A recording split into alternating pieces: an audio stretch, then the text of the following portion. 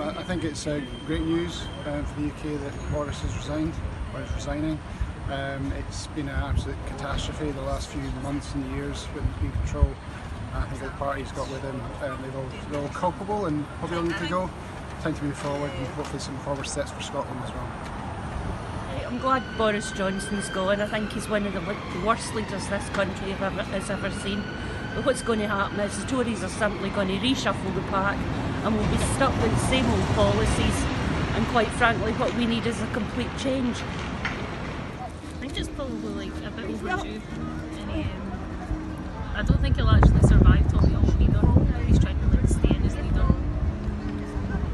Don't see why there'd be that much difference as well after he's gone.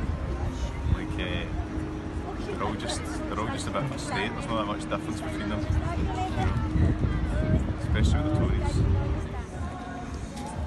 Um, I think it's brilliant. I think he was a, a bully and um, a bit too self self motivated, and I think it's brilliant that he's gone. I just want Boris Johnson out. He's done nothing for the country.